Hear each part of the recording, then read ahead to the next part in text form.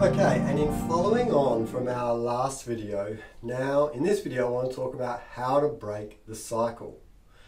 And the key here is this sentence here. How does this concept relate to us?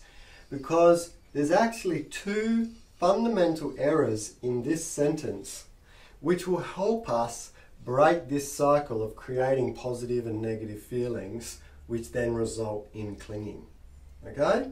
Now, the first of these is this idea of the concept as being the real world. And the key difference here is that concepts are what we call permanent, and uh, the real world is actually ever changing. So when we see a person who's got a smiling face, we think he's a nice person or she's a nice person we create this concept in our mind of this person is a lovely person. And concepts in the mind always stay the same. So, for example, uh, like a tree, when you learn what a tree is, it'll still be a tree when you're uh, 90 years old. The, the concept of a tree doesn't change. And yet, we all know that trees uh, grow, fall over, become nothing. And it's the same with uh, any concept. So a person who's happy, if we say uh, that's a happy person, in our mind they should always stay happy. But in fact, we know that people change. And tomorrow, that person that was happy and nice to you could be really horrible to you. And so, this is where we get unexpected results, and it causes um, a lot of confusion and aversion and, and we desire for that, that nice person to be back again.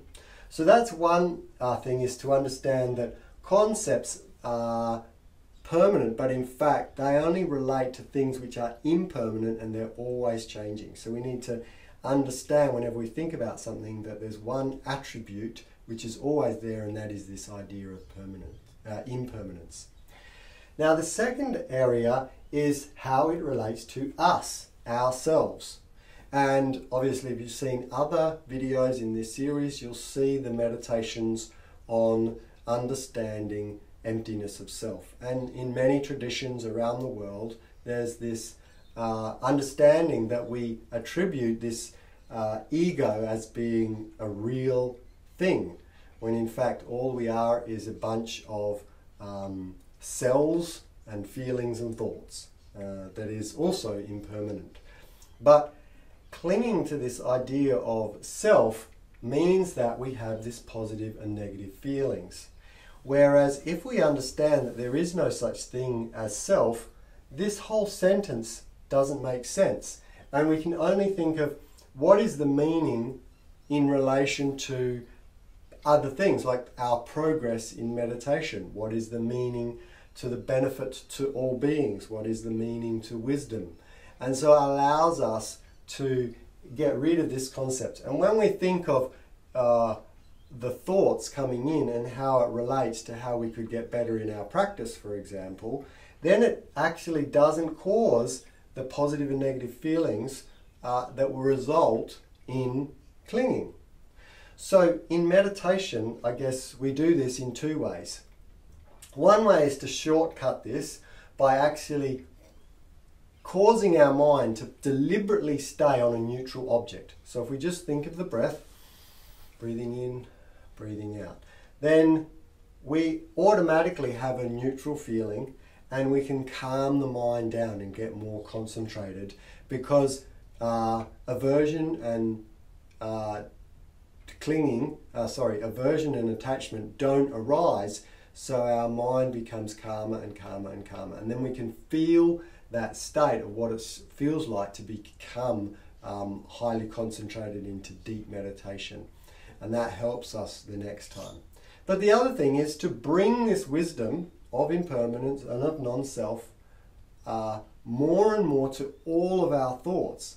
And when we meditate again and again and again on some of these concepts, then even when negative or positive images or thoughts come to our mind, then we uh, don't uh, relate them to ourselves and therefore we stay in equanimity because it's not even relating to us because how can it? We don't exist. So this is ultimately what will uh, completely create a tranquil mind in your meditation and will give you that state of deeper meditation.